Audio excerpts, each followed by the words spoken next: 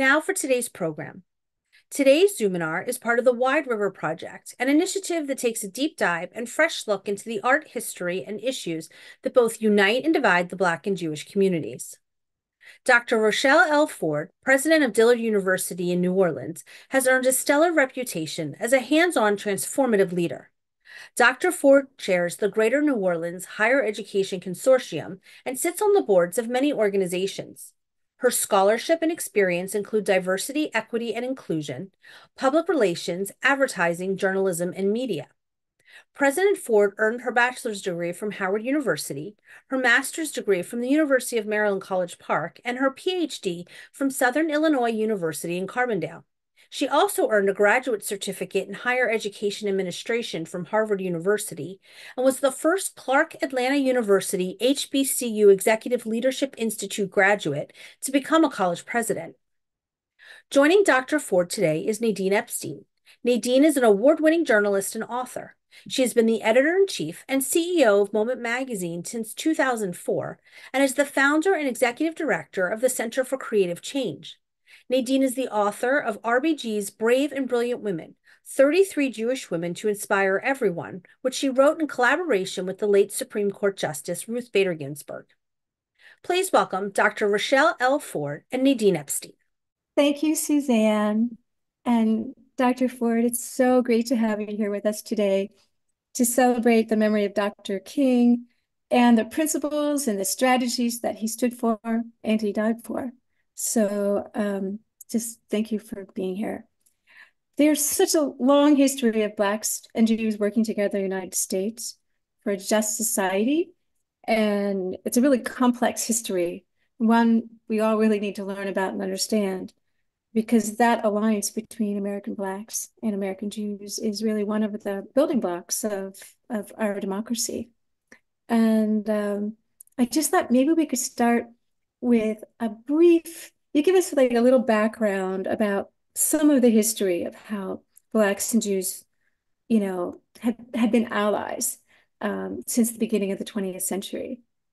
Sure. So thank you, so, first of all, for inviting me to participate in this program.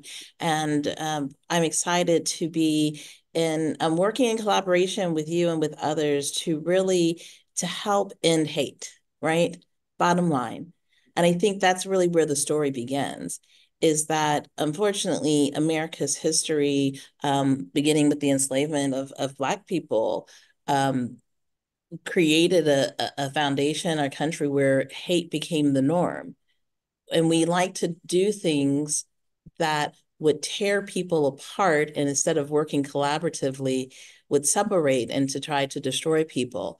And as um, Jewish people migrated to United States as well, and people realized that they were different. How do you retain power? Well, you you hate them. So you have anti-Semitism beginning early in, in the United States history as well, and blocking Jewish people for being able to realize oftentimes their full potential.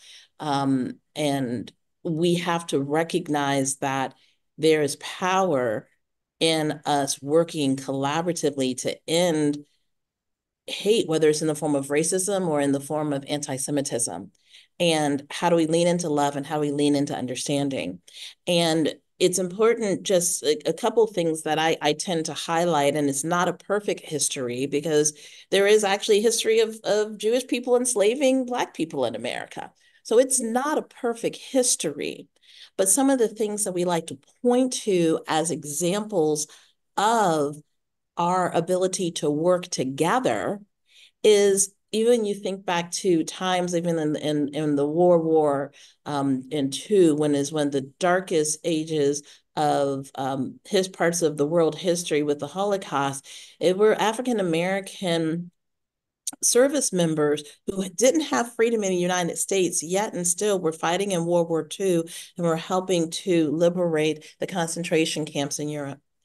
Um, at the same time, when you come to the 1950s and 60s and you're looking at the civil rights movement, you have um, a lot of the freedom riders, the youth, were a lot of um, Jewish youth who participate in the freedom rise in the South and like, let's break these segregation rules to help desegregate um, America. You had Rabbi Heschel, um, Heschel, who was a forward leader um, in Jewish American thought, but not everybody thought that that was a wise decision for him to stand side by side with Dr. Martin Luther King to advocate for and march for um, the civil rights of all Americans. It's a complicated history, but it's an important history to recognize that there's a lot more that we can do together to advance um, America to be the democracy that we want it to be, to be that great experiment where we can have justice for all. And, and that's one of the main reasons why we felt so strongly at Dillard that as we lean into our mission of cultivating leaders who live ethically, who think and communicate precisely, who act courageously to make the world a better place, that we were called to restart this dialogue at a national level that um, to help to have greater understanding of our shared positive past and how we move towards making the world better today together. We're going to get there in a minute because it's really important. We're going to be talking about the center that you've relaunched. But I just want to actually, one of the things, really interesting parts of history of this relationship too, is how HBCUs, historic Black colleges and universities, took in American Jewish refugees mm-hmm. from professors and intellectuals from mm-hmm. Europe, which ended up saving their lives when they were actually, many, many other universities wouldn't accept them. So they weren't able to come into the United States. So that's really, you know, I've always been fascinated by that. So, um, and I, and I always think a lot about how this impacted HBCUs and the generation that was in school then um, sure. as well. One of the misnomers I think people oftentimes have about historically Black colleges and universities as if they were designed only and exclusively for Black people. The mm-hmm. history of historically Black colleges and universities that we've always been open to any student who wanted to come and to learn. We make it a, a, a point of pride that our doors are open. And so our doors have been open to Jewish Americans to both be scholars as mm-hmm. well as to be students, as well as to be active in the community and partnership. And it's a, it's an important thing to recognize that the world historical means that it, yes, we historically we were founded to educate black people after um, the civil war as we were newly emanci- emancipated people although there were free black people even here in new orleans before the civil war.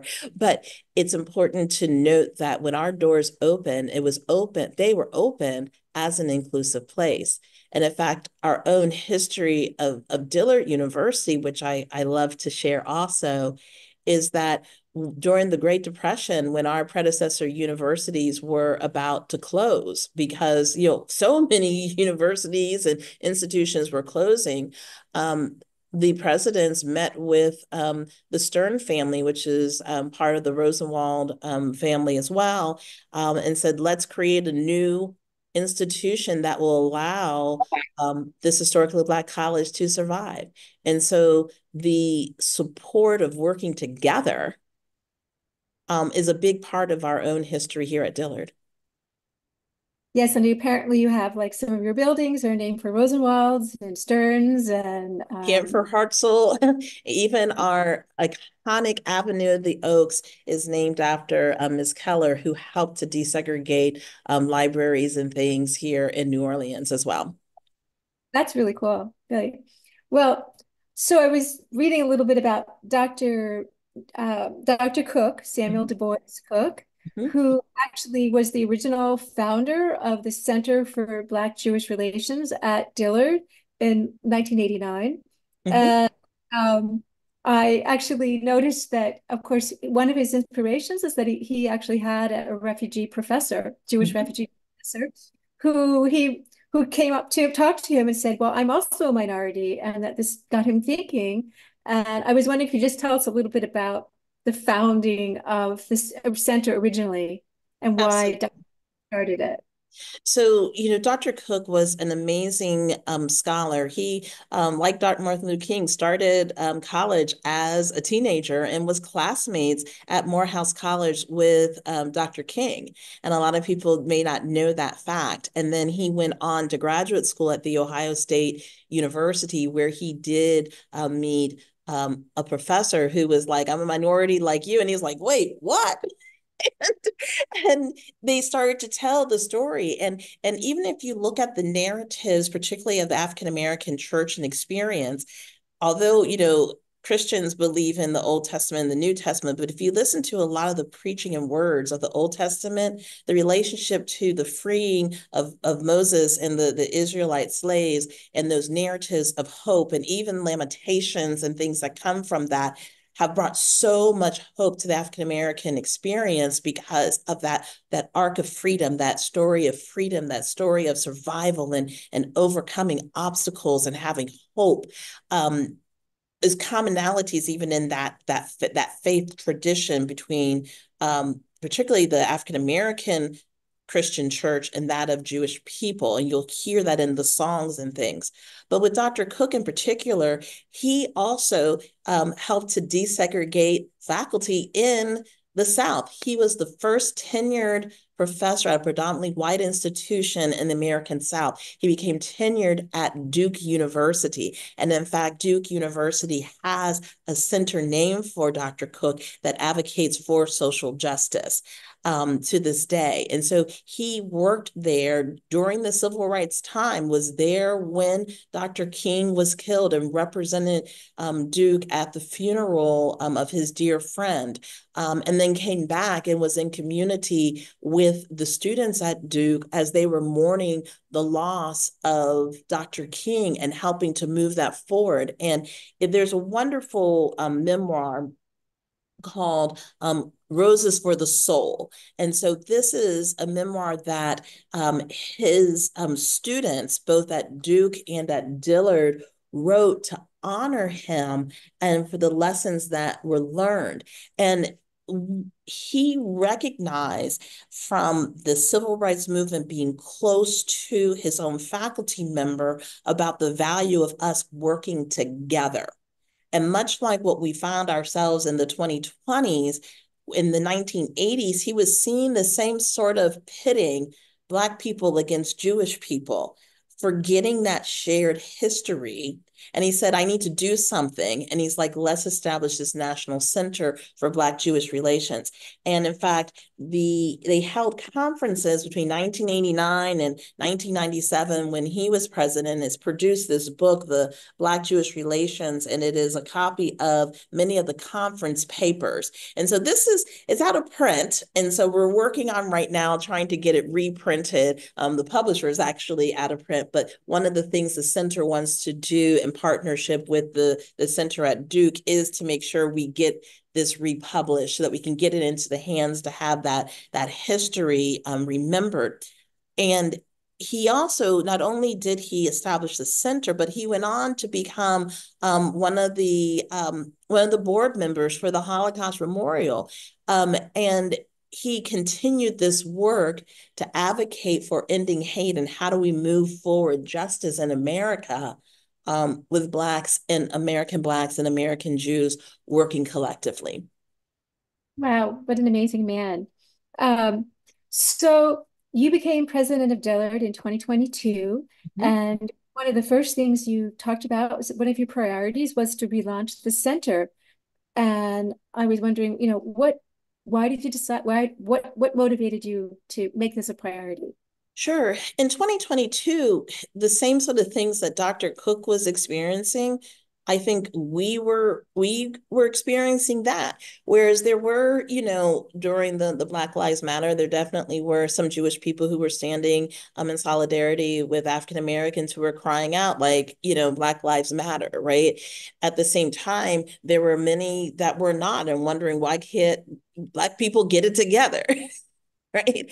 Um, and then you fast forward to 2022, the some of the the rhetoric that we're hearing in music and that athletes were saying, et cetera, there were some anti-Semitic things that were being said, um, and uh, causing additional confusion. And for again, remember what we started: how do we pit people against each other instead of working collaboratively to end hate and advocate for peace? And so I felt, and as I learned the history of Dillard and about um, the Jewish community working side by side with the African American community to um, establish Dillard at a Straight and New Orleans universities, I said, this is a piece of history that we need to to restore and make sure that my students not only know the history of Dillard, but also how do we galvanize and really create a space for dialogue? How do we create a space for learning? How do we create space for mutual understanding between Black and Jewish communities? And so it was made perfect sense that let's not recreate a wheel, let's bring that wheel back out and say, hey, let's use this as a vehicle for us to move America forward. How do we make this world a better place? Well, I actually have a quick question. Why did it close to begin with? And when well, did it close? Sure. It started to close in um 2000, excuse me, 1997 as Dr. Cook was leaving a new president coming in with a different set of priorities and objectives. Then something called Hurricane Katrina hit. And when Hurricane Katrina hit, the university went into survival mode. And so at that point, it was about rebuilding and restoring Dillard to exist for the future. And so one of the things that I love about my my two immediate past um, presidents of Dillard, Marvelene Hughes, the first African American woman, she's like, we're going to save this university. And she did. She survived and we reopened the doors of Dillard. And then Dr. Walter Kimbrough came back and how do we continue to elevate our presence? How do we recruit more students? And also how do we get loans forgiven for the for the amount of debt that it, it costs to rebuild the campus? Um, and they were able to ensure that the university existed. So when I began, it was a very different time and necessity of what the university, what we were facing. And so, how do we really lean into Dillard being what we're calling a communiversity? How do we work directly with the community to live our mission of cultivating leaders who live ethically, think and communicate precisely, and act courageously to make the world a better place? And so, understanding the history, understanding our vision of being a communiversity, it made sense that we could best advance healthy, safe, and innovative communities by reestablishing this center, connecting our past to the current needs. And that's what we saw in 2022. And so when we had our first MLK Day, we said it's time to relaunch the center. And that's what we did. So, what have you accomplished so far with the center, and what are you hoping to accomplish? Sure. So one of the first things that we did um, as our launch event is we had um, a film that really looked at um, uh, the the shared history, the shared stories between the Black um, and Jewish communities, particularly in the civil rights movement. And then we formed a national advisory committee, and we're continuing to develop out who serves on that. But it is a national um, it is a national board um, that is helping us to do that. So Shari Rogers, who's president of Spill the Honey, um, she's the one that um, produced that documentary, and we're working with her to make sure that that gets distributed out into the hands of others, um, particularly in higher ed and other communities.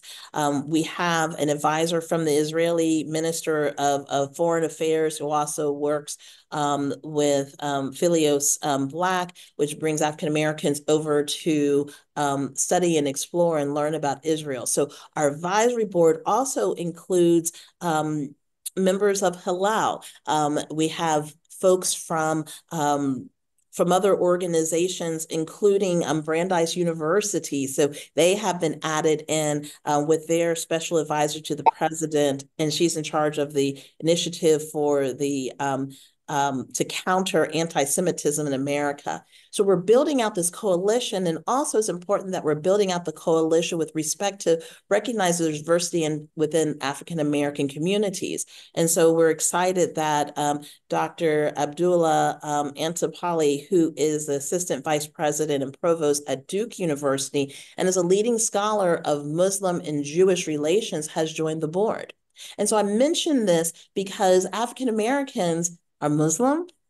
They're also Jewish, which a lot of people forget that there are Black American Jews. And in fact, one of our alums, Nathan Looney, is the leader of multicultural affairs for the Federation, the National Federation, um, Jewish Federation. and he's a Dillard alum. But so we have we want to make sure that people understand the breadth of what being Black in America is. So the first thing was beginning to grow our board. The second thing is is starting with programs where we are having what we're calling a beloved series, where we bring people together to have a meal, to talk across difference, and then the next day we either have a panel or we have a film discussion. And so we held um, there's two films that we're showing um, this academic year. The first film we did was looking at the Tree of Life and um, uh, mass shooting that happened at the synagogue in Pittsburgh and having a discussion about that. And then we're having Temple Emanu-El, um, we're having the um, uh, showing the film of that and having a discussion about that. But we're also launching a series that is looking at that shared history of the Muslim, Jewish, and African American faith called Father Abraham and exploring um, exploring that as well. But we're doing it. One of the reasons why I mentioned food is it creates dialogue. We had a, a, a soul food Shabbat, we called it, and we um, had um, we we ate a, a meal together, um, and we talked about what does it mean? What are those stories? What does what is the story that is is understood? Um, and so what we're trying to do is to take not recreate wheels, but amplify programs that are working at other schools, other universities, bring in other trainings, um, so that we can expand that. But we are literally in year one. We're in so year one. You're working in the university and in the city of New Orleans, but also you have a national focus as well, it sounds like. Absolutely. And so we're building out that national board, and then we'll be building out what programs and how we can use the networks in which we're in to bring people together and to share the word. So October 7th. Yes. Uh, and um, I know how has that impacted your work, really? I mean, it's such a blow to so many things, to the world order. um, but how has this impacted your work at the center? So it refortified why there's a need for the center. Um, and simply put, it's we're here to end hatred because what has happened since the um, the initial terrorist attack and now the war that's that's um, happening in Gaza is that it has pitted people against each other. And so what we're trying to promote is people, not politics. We need to make sure that we can put an end to anti-Semitism and into racism and into prejudice because we want to make sure that no matter who you are, you can exist. Mm-hmm. That if you're walking white black, you're not going to be attacked for being an African American or, or black appearing person in America.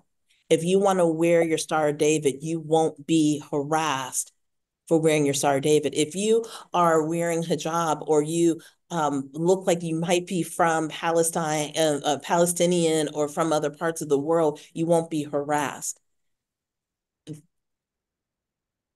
The terrorist attack and the war mm. demonstrated how hateful Americans can be against each other. Because we want to make sure that we can advocate for for peace. And and that's a critical thing and that's why we stood in solidarity when we had the march for Israel against anti Semitism and to bring the hostages home, we stood in solidarity because we have to end hate and we have to lean into love, understanding, and listening to each other. So you you yourself have become a very vocal ally, a vocal ally, like co-write. I know you co-wrote um, a letter with Yeshiva University uh, president. Mm -hmm. uh, and I'll tell us about forming a coalition with some of the other universities that. Yeah, that was when that terrorist attack happened, it it hurt everyone's sense of safety, right? And how, as college presidents, do we condemn hate and how do we help our communities to feel safer. And we knew that we needed to do so in coalition, that we shouldn't stand alone. And that how do we how do we show our students that no matter who you are, that we're going to advocate to create spaces for you to feel safer. Mm-hmm. And no matter what type of university, we have to stand in solidarity to end hate. We have to stand in solidarity to help our students lean into brave spaces. And that's one of the things that we're really advocating for right now in America is brave spaces because we can't promise safety because our mere existence might make it unsafe. And so the importance of all of us working collectively to stand up against hate because we do not want our students whether they're black jewish students whether they are students from you know who are palestinian whether they are students who are you know conservative jewish people or you know jewish by ethnicity but aren't practicing the faith. We want everyone to be able to to strive for healthier and safer and more innovation like and not be peer pointed mm-hmm. against each other. So, do you you you personally helped reach out to over 100 universities? I guess 100 universities signed this. Yes. So we reached out to the various communities that we were in. Um, so one was we reached out to, for for me as member of the African American um, community. We reached out to other UNCF schools and asked them to consider participating in it. We reached out to the Council of Independent Colleges. We reached out to religious affiliated universities. We reached out to a host of research universities um, to say let's join together. We have to mm-hmm. condemn any form of terrorism, and we have to work towards ending hate and yeah. and i think that when you're in coalition together you're mm-hmm. also not standing alone right and that's what dillard is trying to do is bring a coalition together of voices to talk about how do we going back to the purpose of the Senate, how do we create spaces for dialogue, for learning, and for mutual understanding? And we have to do that in coalition. This is so important because I think so many Jews have felt alone, stand, like they're standing alone since October 7th. So and, and that's one of the hard things is that we can love people and hate politics. How many mm-hmm. times I, as an American, have traveled abroad and America has done something really, really horrible? Because unfortunately, America does do things that can be quite embarrassing. But I don't want people to hate me as a person Mm-hmm. I have to do the same thing with Jewish people. We have to recognize that there's diversity within Jewish people. And just because the state of Israel is doing something doesn't mean that all Jewish people are responsible for that thing, just like I am not responsible what the American government decides to do on any given day.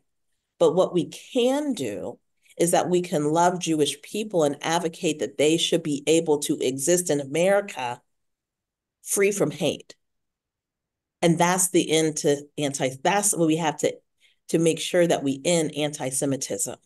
And it's the same thing for for black people. We need jewish people to continue to stand in solidarity of people of color which might mean your own you know black jewish people but it also might mean someone who is palestinian because of the color of their skin. They are called black in america right it's about standing in solidarity. And when we're weak, that we stand up and we still say, I am here for you, that we're going to work together to ensure we put an end to hate. So, is it possible for one to be anti Hamas and pro Palestinian and pro Israeli Israel at the same time? Are they mutually exclusive? No, because you can be pro love. Mm-hmm. People have the right to exist the state of Israel has the right to exist. People of Pal- uh, people who are Palestinian have the right to advocate for their freedoms. and to advocate for an end to prejudice that they may see is occurring in the same way that African Americans and Jewish Americans could advocate for ending anti Semitism and ending racism in America, and we can still be pro America. And I think that that is that is a key thing is that we can stand for people for love simultaneously no matter where people find themselves in the world. Well why do you think so many you know people and i'm going to include in that group of people a number of college presidents really have had such a hard time with this? Because we live in a soundbite world. We have to lean into people condemning all forms of hate. Anti Semitism is wrong, but so is, Islam- is Islamophobia. It's wrong. We can't call for the genocide of anybody. That's wrong. What we have to call for is loving people and ending hate. And that's the key thing. And how you learn to love is you have to learn to understand people who are different than you. And creating those environments and those spaces for real dialogue is what we're called to do. And that is not a soundbite. That is taking the time to listen with humility, to recognize what we don't know and what we don't understand. And takes us a time to try to create these brave spaces, spaces for dialogue, spaces for learning, spaces for mutual understanding and that takes time, and that is not a soundbite. But the sound, if you're going to use a soundbite, it's about loving people. It's about people, not politics. Well, I guess, you know, I'm just curious, what are students at Dillard talking about? I mean, obviously you have students who have all sorts of different opinions on the matter, mm-hmm. and especially since October 7th. So can you give us a little bit of a sense of, and I'm not picking, I mean, Dillard being representative of any college really, but what, what have you found? What I have found is that students want to learn, they want to understand, but they also wrestle with being inside these, this, this, this um, polarization that social media has caused. And so what we do at Dillard is how do we cultivate leaders? And what we say is cultivate leaders who live ethically. So students have to understand what does ethical living mean? And in our mind, ethical li living, it begins with thinking critically. And you can't think critically unless you start to study and you broaden what you're exposed to. And so we as faculty and staff at Dillard are helping our students to think critically and how to open up and listen to news information that might even at times or resources that might even make them feel uncomfortable at times. Mm-hmm. Right? And think critically about it. How do you contextualize things? That's that critical thinking, understanding history, and understand that history is told from a whole host of different perspectives. So that critical thinking is how we cultivate leaders. And then we talk about communicating precisely, it begins with listening. Because too often we want to communicate, we want to just speak our perspectives. But if we're going to communicate precisely begins with listening and that's what we're trying to do in our attempt to cultivate leaders and then here's the other thing is how do we teach people to act courageously and acting courageously might mean standing on a stage like I did and told everyone to pause and remember all of those lives are being lost. Palestinians as well as Israeli lives are being lost in the war that's ensuing. And how do we lean into love? How do we lean into ending hate and anti-Semitism? So acting courageously might mean sitting down, listening to people who are very, very different than you are that's creating that brave space. So our students, when they come to Dillard, they're buying into that vision that they're going to be cultivated as a leader. And sometimes it's going to be uncomfortable. You're going to read something that makes you uncomfortable, that goes against or challenges you from a way that you might have been raised or what you were exposed to. But then it's a learning journey that's going to cultivate them into a leader. So that's what they're signing up for when they come to Dillard is that they're going to be cultivated as a leader. Idea that people can be, uh, students can be uncomfortable is a very important one. And not everybody agrees with that today, apparently. It's a challenge. That's a that's a challenge that society is facing. But the only way that we can lean into love, the only way that we can end hate is that we start learning about each other. And that we have to understand where does the pain come from? And we don't attack people when they're down. Like when when Black Lives Matter is going, it was hurtful when people said, well, all lives matter. Well, yeah, but my house is on fire. You're you going to pour water and save somebody else's house and not help me put out my fire? And I think it's the same thing when when um, when the the terrorist attack happened in Israel. Well, we don't want to say, oh, but look over here is burning too. It's like no, Jewish people are scared. So how do we say, let's help you feel safer? Yes, we're going to learn, but we're also going to say we see you and we see your pain. And so it's all about showing empathy. So that's the leaning into people, not politics. I can't control what the Israel government's going to do. I can't control what America's going to do. But what I can do is create a space for dialogue. So we lean into the people. So how can we bring this national? Um, is a really important question even beyond campuses. I mean, I often I feel like, you know, it's not like the dialogue between the Black American Black and American Jewish communities is completely broken because it's not. I think that's a misperception. But I feel like um it's but that misperception is really dangerous in itself. Mm-hmm. But what can we do here nationally to to strengthen this dialogue out beyond campus? Sure. So again, it's about the coalition building. So we take resources that um, that the ADL provides and how do we use that not just on college campuses, but how do we use those materials also with community groups, with school districts, with churches and synagogues working together, or mosques and synagogues working together, or mosques and churches working together. How do we use resources that already exist? How do we take the resources that Brandeis is, is, is developing and bring that out? How do we take the resources like the Spill the Honey that they're you know developing and bring that out? How do we take the resources that others have been using over the years and share that? And so in year one of the center, it's about building that coalition and creating the framework so that we can create that space for dialogue and for learning.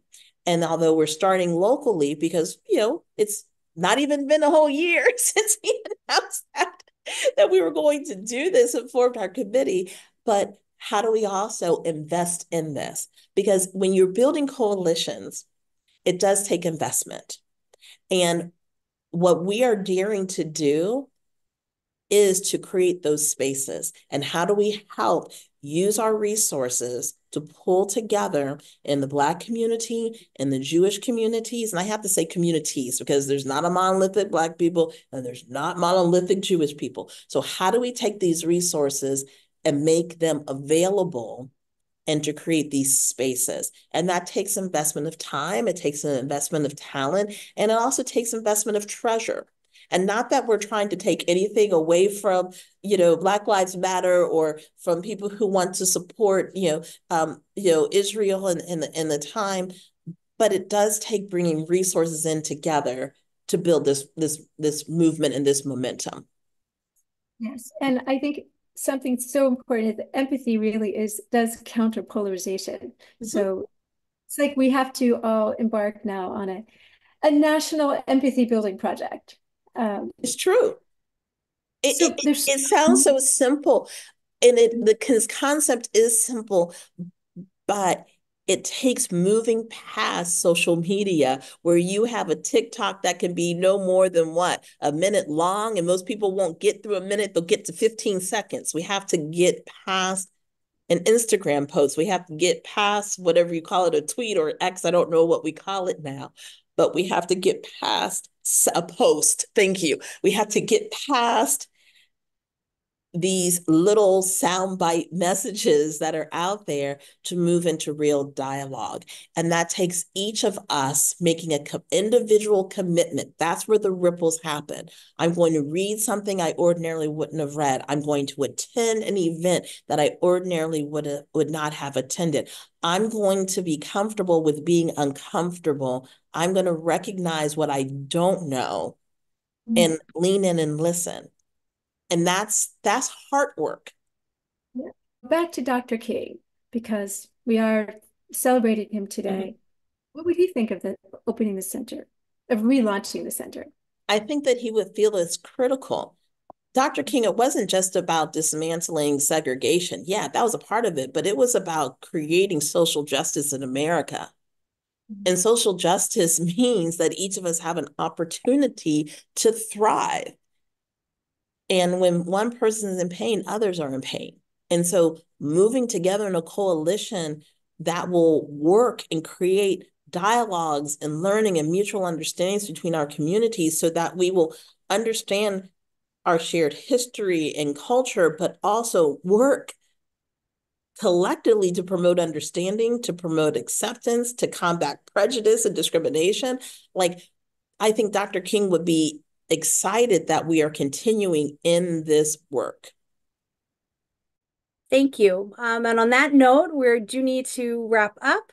I want to thank Dr. Ford and Nadine for joining us today.